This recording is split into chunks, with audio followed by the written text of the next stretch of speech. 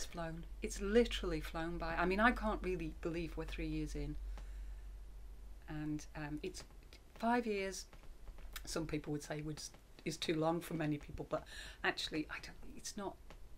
You you need. I think you know you you need a second term to actually push through what you what you've got started in the first term. Um, I mean, I never believe that politics should be a marathon. It should be a relay, but five years, it's not a long time.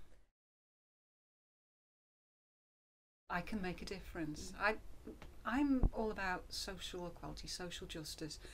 What I really want is for us just all to have a fair shout, um, to have a, a you know have opportunities across the board really. So that's where I'm coming from.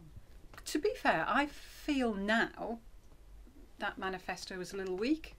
Um, that I I didn't make any promises, I did give opinions on what I thought about things.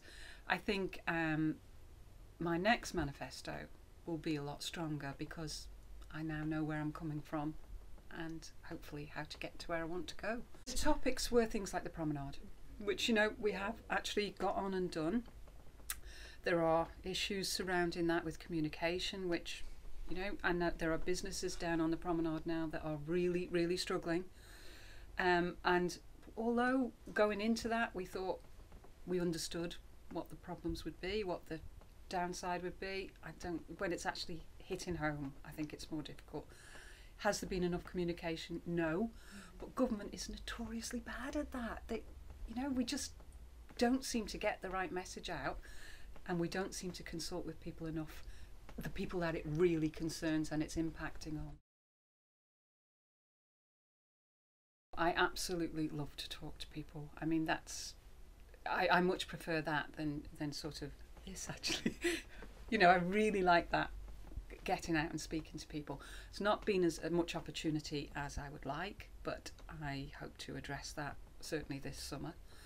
Um, that's that's my way of doing something is to, is to talk to people and get their feedback. There's so much gone on in education that is is really really good.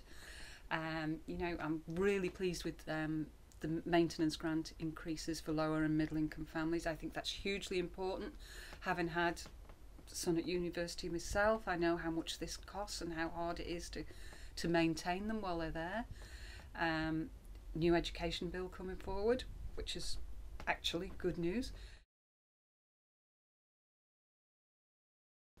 Health, the health review, which is for me is I just think that's a huge step forward now. You know, we've it's been a long time coming, and I think we've had to wait to get to where we are now before we can actually say, you know, this is it. We have to we have to change. We have to transform the service. So that's a really good thing. You know, CAMHS is is is bombed out really, isn't it? You know, it really is busy, and there are waiting lists now. What we what we are trying to do in health is um, get established an autism pathway, and to try to get because you've got all sorts of of things going into CAMHS like autism that really shouldn't be there. It needs a separate pathway, and that will hopefully open up the gates for people on the waiting list to get through. I want to explore over the summer with, with other members, with members of the public, um, about a reduction in LegCo members from eight to six.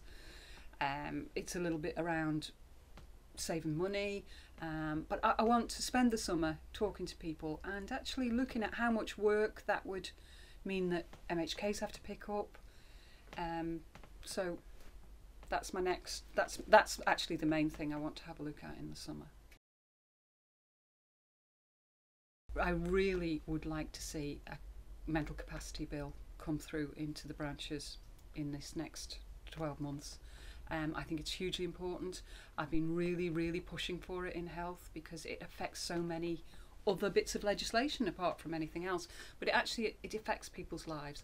It's deprivation of liberty, it, human rights, um, and you know people who are sectioned or we've got dementia patients in care homes with locked doors now.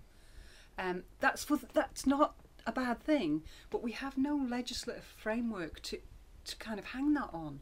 So it's really, I, I feel absolutely essential that we get a capacity bill.